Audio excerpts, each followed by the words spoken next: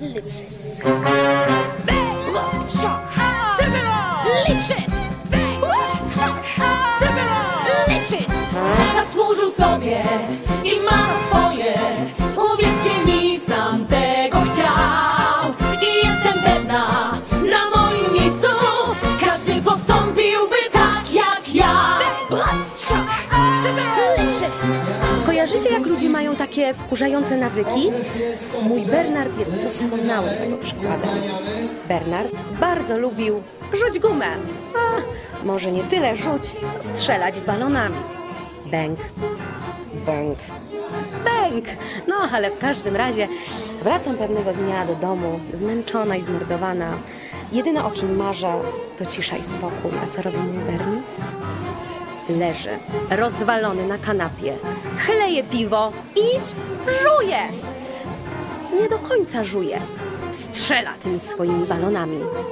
No i tak sobie pomyślałam, a strzelnij tym balonem jeszcze raz. No i strzeli. I wiecie co? Wyjęłam pistolet z torebki i ja też sobie postrzelałam.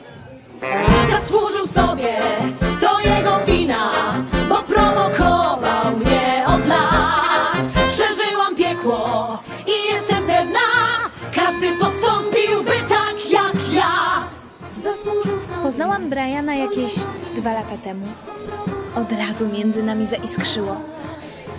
Powiedział mi, że jest bardzo samotny, a ja miałam w domu podwójne łóżko.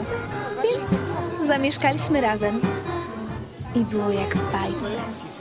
Codziennie wieczorem, gdy wracał z pracy, robiłam mu drinka i jedliśmy romantyczną kolację.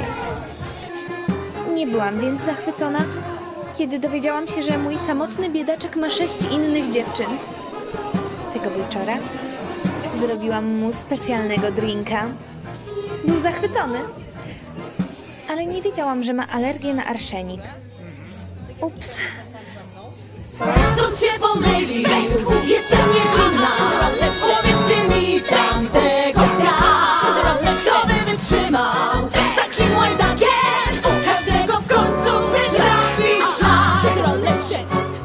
sobie w kuchni i kroję warzywa na sałatkę. Ciach, ciach, ciach, marchewka, sałata, seler, pietruszka.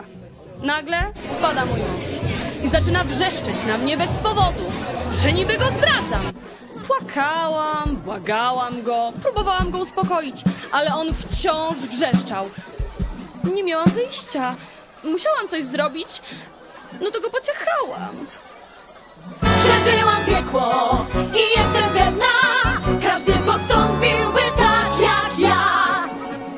тут делаю?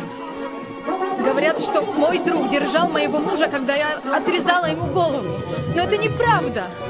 Я не знаю, почему меня арестовали. Я пробовала им объяснить, но никто меня не понимал. No dobra, dobra. Zrobiłaś to czy nie? А-а! Невиновна! Moja siostra Weronika i ja miałyśmy swoje taneczne, objazdowe show.